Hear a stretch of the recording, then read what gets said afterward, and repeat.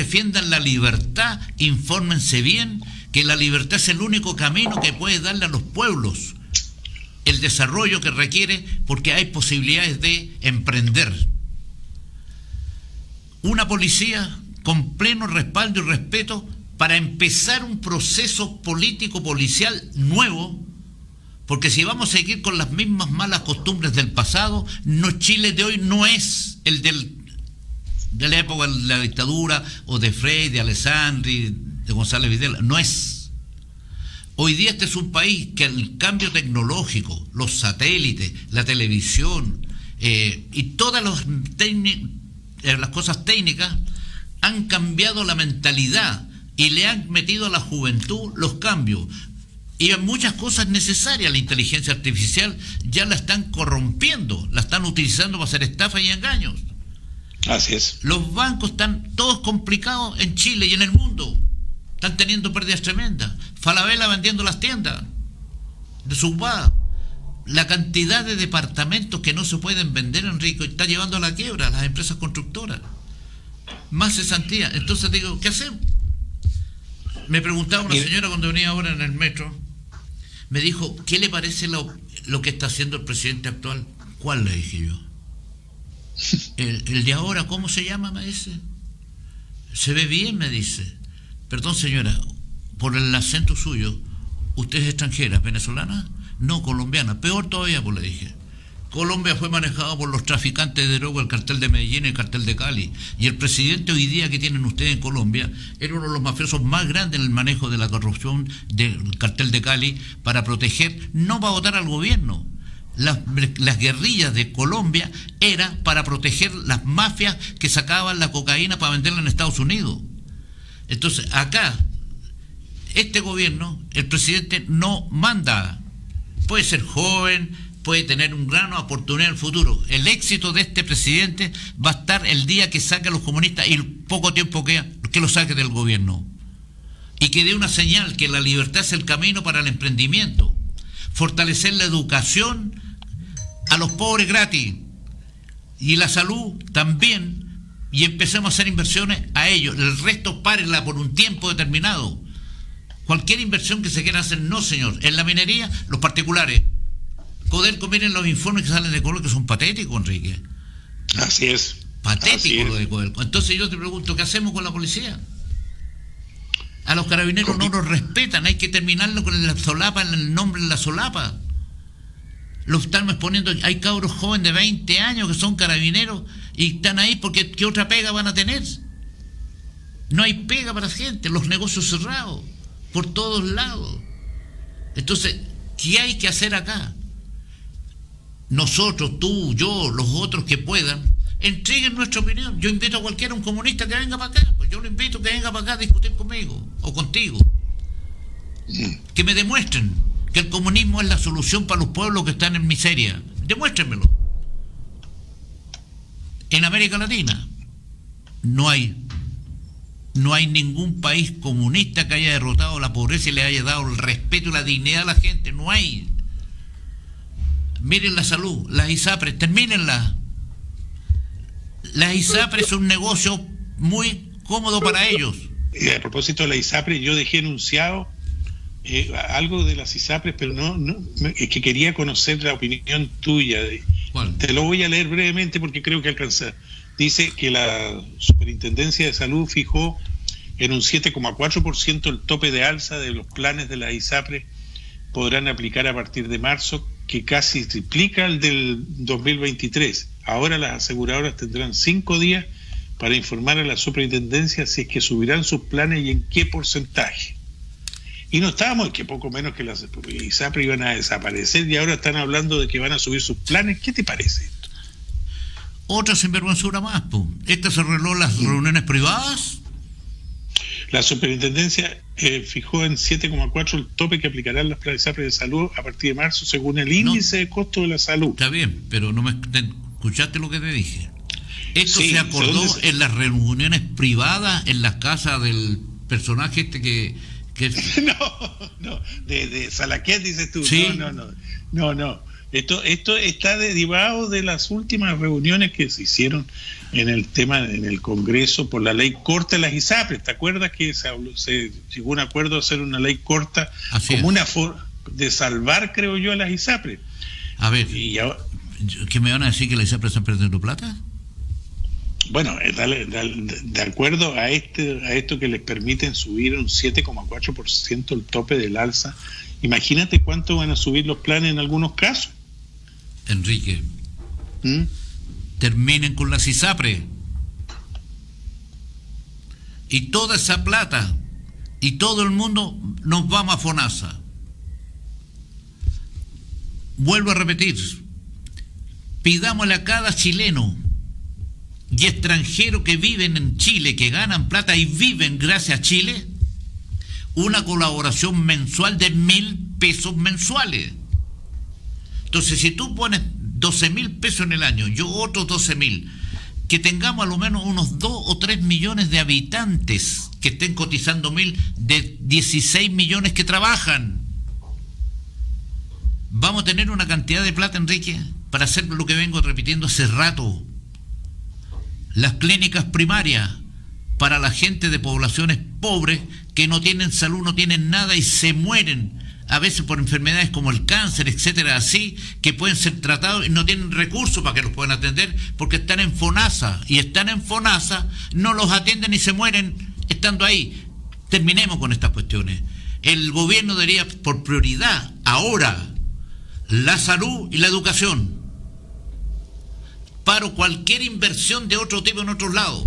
Modifico la constitución y creo un Estado federal. Fusiono Antofagasta con Tarapacá, Atacama con eh, Coquimbo y así todo el país. Dos, en vez de tener 27 seremis, más un gobernador o intendente en cada región, vamos a bajar los diputados. La Bachelet subió los diputados y tienen el control político del Congreso. Los presidentes de las comisiones en la Cámara de Diputados son todos de izquierda. Entonces hacen un show de democracia y de respeto a la libertad. Mentira, ellos manejan el poder. Los comunistas manejan el poder. El problema que tienen a un comunista que es Carmona, que no tiene la estatura política de los comunistas tradicionales. Telier, que se murió, era guerrillero, con metralladora en mano, atacando a Pinochet en el cajón del Maipo, y no está preso. En cambio, los que estuvieron para el estallido delictual, indultados con una pensión de 500 mil pesos de por vida, y a los militares que dieron el golpe militar, porque esa es la verdad, ¿no es cierto? Murieron y están metiendo presos a los que cumplían las órdenes. Si un militar cumple órdenes, no decide, y si no decide, lo matan. Entonces estamos mal. Vamos a las ISAPRES. ¿Por qué te digo a FONASA? Porque si se, se promueve esto que te estoy diciendo, va a haber plata y va a sobrar plata, Enrique. Bajen los impuestos, el IVA, para incentivar las ventas. Tú vayas a tener posibilidad de comprar un 5% más. El comercio se puede mover, generamos empleo. Claro, México controlamos la inflación, bajó la inflación, está bien, pero los comerciantes no están vendiendo, están cerrando. No tienen plata para comprar. Entonces yo te digo, la Contraloría, miren cómo la Contralora nueva, o sea, la que está subrogante, que funciona de carrera, miren cómo se tiró a hacer todas las denuncias vía por ahí, los tiene vuelto a espalda. La van a nombrar, conociendo estos personajes, no la nombrarían, pero la presión pública la puede nombrar. Por eso sí, yo creo que, que, están en un brete ahí con eso. ¿ah? Yo creo que les va a costar solucionarlo porque efectivamente, como dices tú, no deben tener ninguna gana de nombrarla, porque bueno, ella tuvo ya sus dificultades con el Contralor anterior, con Bermúdez, ¿te acuerdas? Bermúdez fue un bandido, hombre, que Dios me perdone. Él no hizo nada en los años que estuvo ahí y al final cuando se, este, produjo este problema de las fundaciones, de las platas que se repartieron, que se robaron más de la mitad. Esta niña que hoy día hace desnudo por, por internet, ¿cómo se llama? La policía, Poligi Sí, sí, así, de, por, de con bio, bio por ahí, ¿no? Claro, no, y cobra 25 mil pesos. Si tú te inscribes, tienes derecho a ver las cosas que te muestra. Ah. Y las cosas que hace. 15 millones de pesos se ganó el, mes pasado, en un mes. Manden el impuesto interno, pues. Entonces, estamos mal, Enrique. Y cargo, cargo de responsabilidad. ¿A qué voy? Aquí hay que trabajar los ministros. No puede ser que tengamos 27 ministros, Enrique. Dejémoslo en 15. Mi ley tenía 15 ministros, lo bajó a 9. Y le están haciendo la vida imposible, pero a seguir adelante. Está expuesto a los ataques, a todo, a un montón de cosas más. Pero ya están teniendo ingresos que no habían tenido nunca antes en un mes. Cerca de 600 millones de dólares. Que antes no tenían. Pero, pero, te digo, eh, está bien. Eh, uno en política, y tú tienes bastante experiencia en eso, sabes mejor que nadie pero yo te diría el, el giro que ya se está observando que los en Argentina, que estaba comentando yo las encuestas, lamentablemente muestran que el camino no va a ser para nada fácil para mi ley si se salva. Te digo, así de grave es la situación. A ver, te cuento, yo siempre de un principio cuando vi todo lo que dice, lo que hizo y lo que está haciendo, sabía que esto, el peronismo tiene 80 años. Así es. Y esos son los que salen a la calle porque quedaron sin pega. Pero terminó con el Banco Central. Terminó con no todavía, no todavía, no todavía, pero No, pero le quitó facultades ya, le quitó facultades. Tiene ganas, tiene ganas. Pero, ¿qué pasa, Enrique? Mí, se va a generar empleo en Argentina. Ahora, a raíz de todos los despidos, porque no le renovaron los contratos a los que terminaron el 31 de diciembre, quedaron sin pega, esos son los que salen a la calle. Los gobernadores, que son los que mandan en las regiones, también le cortaron plata. Así es. Entonces están todos horquillados. Claro que se van a mover, pero ¿para qué? ¿Para, seguir manteniendo las mafias, las corrupciones que hay en Argentina? Argentina ha sido un país corrupto desde que Perón asumió el poder. Y nadie quiere decir nada. Yo fui intendente de Antofagasta, yo entendí, yo fui uno de los que presentó el proyecto de integración minera con los argentinos porque nos convenía para abrir los puertos chilenos. Porque en vez de tener que sacar la minería y llevarla a Buenos Aires, le salía más fácil traerlo a Chile. Y así lo hicimos. Y Antofagasta y Salta siempre han tenido una relación comercial bastante importante, que eh, por el problema de que no dejó de funcionar el ferrocarril no, no siguió, digamos, dando frutos, pero la conozco muy bien. El paso de Salta hacia Chile era un paso en su momento de gran actividad comercial.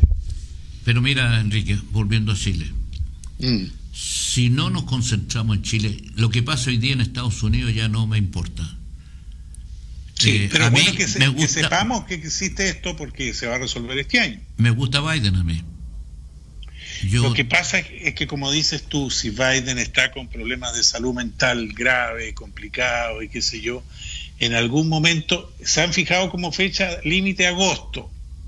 En agosto, que es la última convención, no me acuerdo si es en Michigan, Michigan creo, y ahí se toma la decisión final.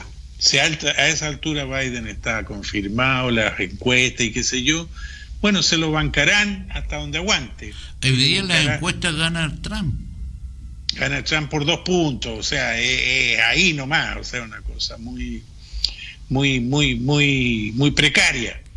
A mí, yo, si yo estuviera allá, yo voto por Biden, pero yo le pediría a los médicos, todos muéstrenle al país, porque deben tenerlo, ¿tiene Alzheimer o no tiene Alzheimer? Bueno, e, es que ese es el gran tema esta semana, pues están pidiendo y discutiendo si corresponde o no pedirle un análisis de su, condición mental a Biden. Si él quiere ser presidente y es honesto consigo mismo y con el país, sométase. Mm. Claro. Sométase. Claro. No haga perder el tiempo a los demás. Si no tiene Alzheimer, siga. Si tiene principio de Alzheimer, no va a parar. Deje el cargo que venga otro las posiciones personales no pueden primar sobre el bien común. Claro. Ahora, esto es, el, tema es que para los demócratas les resulta difícil representarle al jefe eso que estás diciendo tú. Les resulta difícil hacerlo. Pero ¿cómo le va a costar decirle, hombre? Pero para que tú veas, es, así se decide la suerte de la nación más poderosa del mundo, el presidente. y, Trump, y Trump, como lo que decías tú, si en alguno de los procesos, antes de, que se consolide la, cuestión electoral, eh, lo, condenan, hasta ahí nomás llega.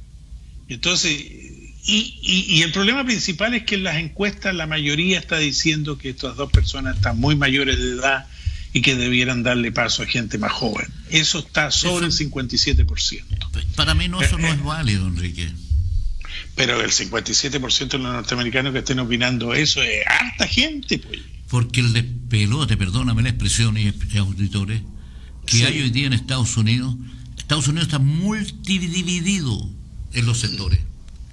Se están transformando regiones, estados, como país independiente del total.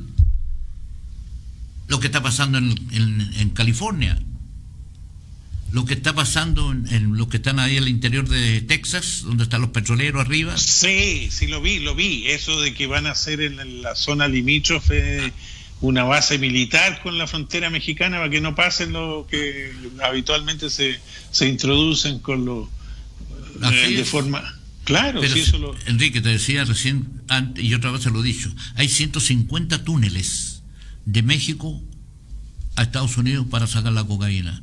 Se supone que la policía norteamericana es espectacular, todos los pillan y todo lo demás. También están coimeados algunos. Porque 150 millones, 150 túneles de cuántos kilómetros. ¿Y sabe dónde está la cabecera de todo? En Sinaloa, donde estaba el que está preso en Estados Unidos y que el hijo, ¿no es cierto? Se supone que lo estaba reemplazando, quedó sobreseído de todo tipo porque no hay pruebas para culparlo. Guzmán. Exactamente. El, hijo, el hijo un cabro mayor ya. Si de Ecuador es presidente uno que tiene 31 años y este otro maneja la coca, se crió con el padre en el manejo, conoce todo el sistema, no está, no tiene experiencia. ¿A quién le quieren contar el cuento? claro. Por favor. bueno, y en Chile, en Chile todas esas consecuencias hoy día las tenemos porque están introducidos a través de la frontera, los, puertos chilenos y todo lo demás es una, una, cosa que hay que estar muy pendiente, como dices tú, para que no coimeen y no corrompan a, nuestros funcionarios y sepan hacer su trabajo y pararlos y descubrirlos. Enrique, la corrupción es parte de la libertad. Mm. El problema de la libertad es que quienes controlan y dirigen la libertad también son corruptos. Porque no hay leyes que te permitan sancionar como corresponde a los corruptos con la cárcel correspondiente y inhabilitarlo para ejercer cargos públicos. Por eso que estamos como estamos. Yo he visto, cuando veía en la Cámara ciertos personajes tradicionales, ocho pasajes nos daban mensuales para viajar a las regiones de uno. Veía como algunos, no voy a dar nombre ni nada, sacaba un pasaje para ir, ponte tú, por ejemplo, a Punta Arena en avión para 20 días más. A los 10 días lo anulaba en la plata al bolsillo. Cuando yo quise, como vicepresidente de la Cámara, eliminar los pasajes, no. Y perdí. Cuando planteé hacer un Estado federal, fusionar las regiones, para bajar los costos, reducir el tamaño del gasto. No es lo mismo Punta Arena que Arica. La vida y las costumbres son distintas. El norte vive fundamentalmente con las mafias de la droga que se meten y compran a medio mundo. Los alcaldes, las corporaciones municipales que pueden generar recursos propios no son controlables por la Contraloría y ahí está el flojo para sacar las plata de nueve alcaldes en Antofagasta, de nueve en la región, seis alcaldes los saqué, le costaron los cargos, y la alcaldesa, que era de Renovación Nacional, o de la UDI, ya ni me acuerdo, la cara en rojo, se arrancó y fue condenada por 25 millones de pesos, no era ese el problema. Eran los negociados que hizo los de la basura, donde le pagaban cualquier cantidad de plata, Enrique.